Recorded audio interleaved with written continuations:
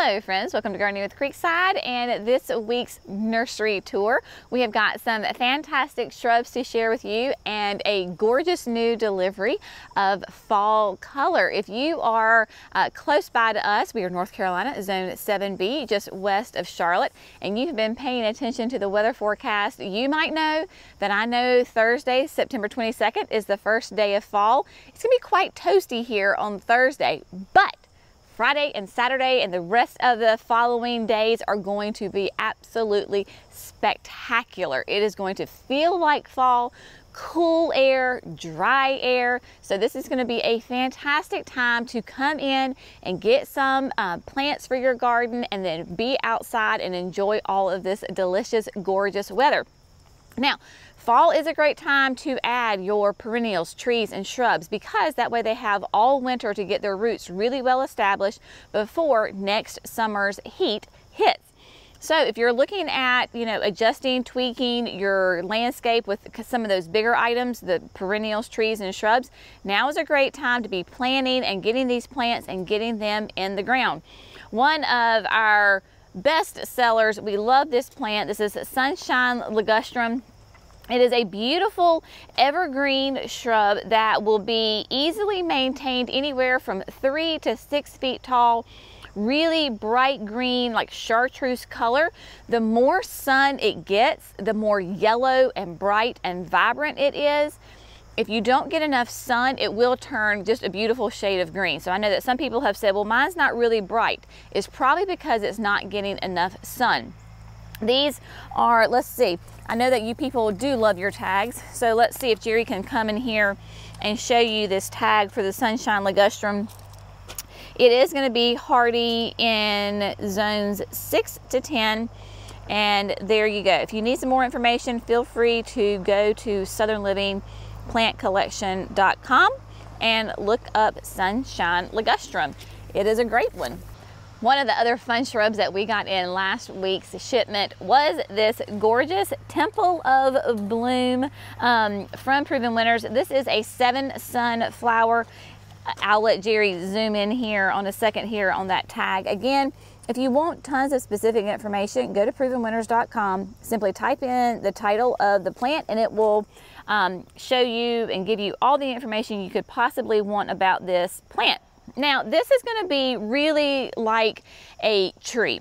It has kind of the same habit and and look of what like a crepe myrtle would where it's going to be a multi-trunk um, plant. It is going to be in sun to part shade. It is going to be hardy in zones five to nine because it's going to be six to 10 feet tall and wide.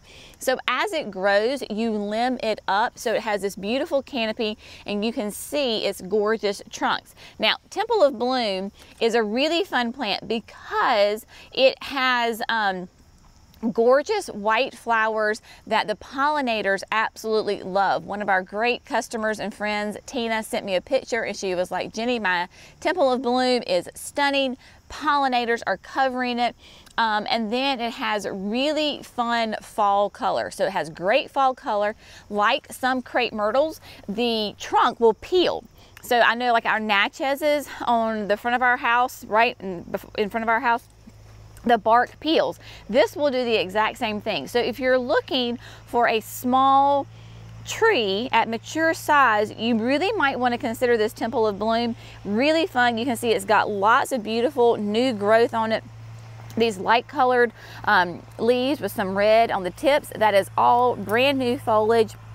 But you can see that it does have multiple trunks in it. So as it grows, we just limit up and um, let all the beautiful foliage up top have all the fun.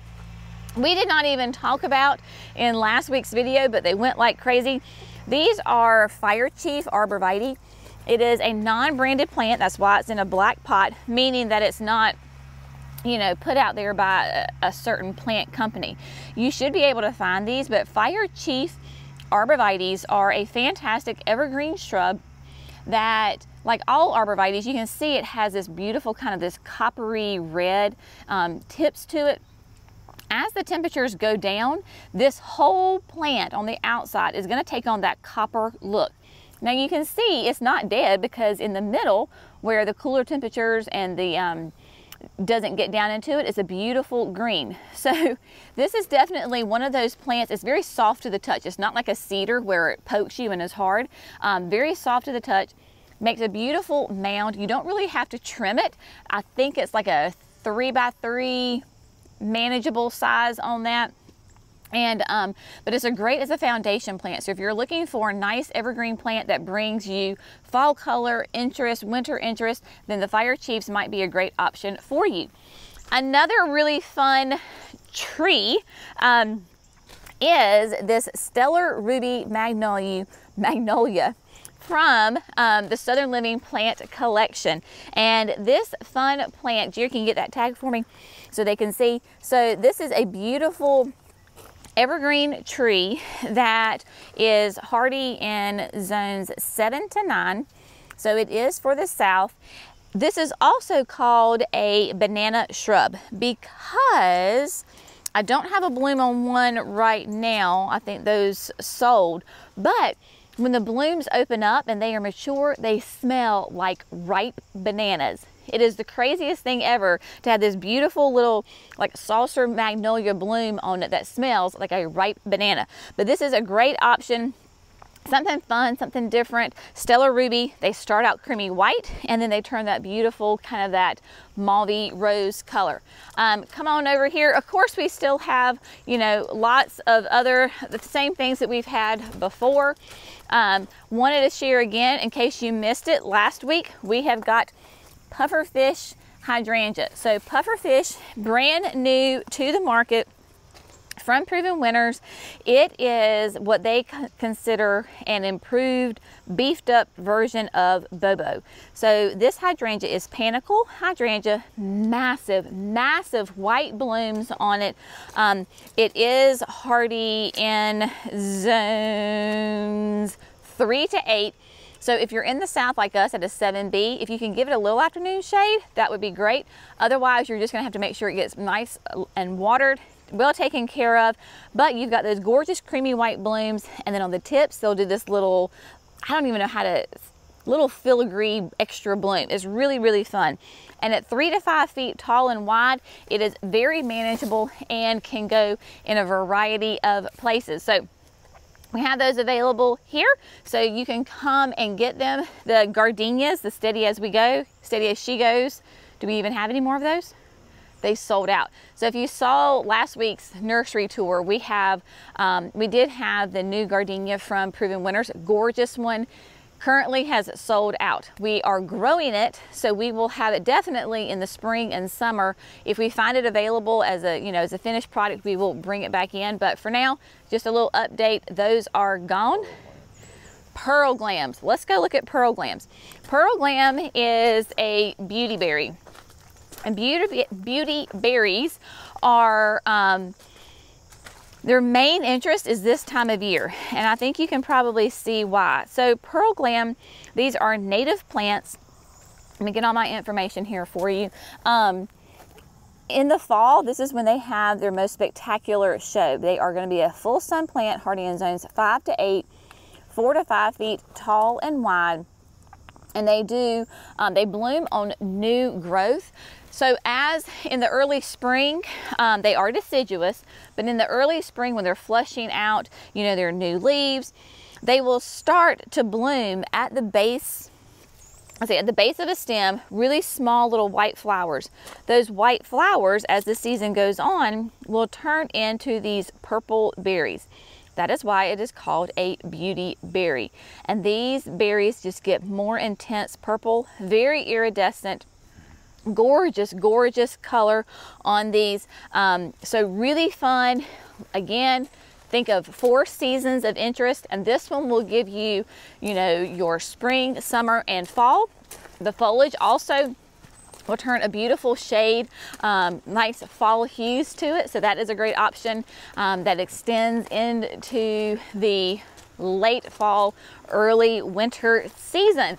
So now let's go on, um, give you an update while we're passing by. The, the, the trough here is just, uh, yeah, it is really, really full. If you will remember, we planted this in the spring. We have the Wicked Witch Coleus, the new watermelon Coleus, the climbing sweet potato vines. Something is chewing on it. Um, so that's all right. It's the end of the season. I'll just let the little critters chew on it. It'll be okay. And then the portulaca. Portulaca is really fun because it, um, Jerry says no sun. Um, the blooms open and close with the sun. So you can see right now they are closed up pretty tight, but here in just a little bit, once the sun gets on them, they will open up to these massive, huge blooms and the honeybees will be all over it. So I just want to give you an update so you can see how massive it is. Um, those are all annuals. So once the cool weather hits or they start looking really bad, then we just pull them out because they are annuals. Look at this, update on this. This is the evening rose, summer, summerific evening rose, and it is just a fantastic perennial hibiscus, massive, huge, really deep pink blooms on it nice dark deep foliage and these plants have just done magnificently well. They're not on irrigation but they do when we water the plants outside of the nursery that water kind of trickles down this way and man they are doing great. So inside is where we have all of the fall color. You can see that we have, we did make that other run to get more plants. So we've got, this whole table is nothing but beautiful pansies. Just as I suspected, uh, Ms. America mustard sold out like crazy in the first weekend. We got lots more. The mustards and your kales, those kinds of plants, your cabbages, they're gonna continue to produce growth throughout the season. When you have an, a, a stalk like this, you'll notice it's on the very outside. Clearly it is not, a, you know, a new healthy uh, leaf on that. So what we do is we just come in and just break it off because it's going to continually make new foliage that's get nice and thick. So every once in a while, you just got to go in there and clean it up. It's not a big deal. Your plant's not dying. This is just what they do. So they make a great filler, thriller, kind of accent in your containers or your landscape, either one. But we've got tons of different pansies. We've got mixes. Look at this is neon violet. Look at that bloom on that. Isn't that beautiful? Nice, deep, rich purple. Looks really like velvet. We've got the blotches. This is a really fun one. If you remember, we did um, on the violas, we have beacon rose. Well, this is beacon rose in a pansy. Really soft, creamy white, um, that pink rose mauve with that yellow throat in it. Gorgeous colors. So, and that would pair, of course, fantastically well with that mustard. Um, if you wanted to pair it like the violas, then this is, um, it says it's amber mix, so it has nice soft shades of yellow. So you could do that. Um, just tons of options. We do have, of course, um, still have our perennials. So like this is Magnus, this is the purple coneflower. Absolute classic plant that is a wonderful late season bloomer, great for your garden, great for your pollinator um, population in your garden. These are hardy in zones three to eight, and they're gonna get to be about three feet tall, two feet wide. So if you're looking to add in some perennials, these are great options. And then we're gonna mosey on over here. But look at these um, mums. Huge, massive color on them, just doing really, really well. We've got the oranges, the purples. Look at the purple here. Isn't that pretty? How lovely that is. The purples, reds, yellows, oranges. We've got a few whites left over, I think, doing doing great. And then we have the violas. Violas, the Johnny Jump Ups, if you will remember. Little smaller blooms on them, but there's more blooms per plant. This is a fun new color. It kind of reminds me of that Royal Velvet. This is called Denim Jump Up. Look at those sweet little faces on that. Isn't that great? So sweet. Um, you could pair it with white, you could pair it with yellow if you wanted to, or just do it by itself and it would just, they would be so fun and sweet. And of course the citrus mix, lots of different shades of yellows, kind of creamy whites, oranges in there, really bright. All of your yellow colors are gonna pop out even more. The pollinators love them. We've got a bumblebee over there, but lots of fun options for you here at the nursery. So we are open Wednesday through Saturday, 9 a.m. to 2 p.m. Um, we, our last day of closing is Saturday, November 19th. Don't worry, the videos will still continue to come. It's just that our retail um, area will be closed so that we can get recharged, refocused, get some projects done before we open back up into the spring and of course growing plants, right? So we've got lots of fun things from now until then planned. As always, we so appreciate you. Thank you for all your love and support. Y'all have a great day. Happy gardening. We'll see you in the next video. Bye, friends.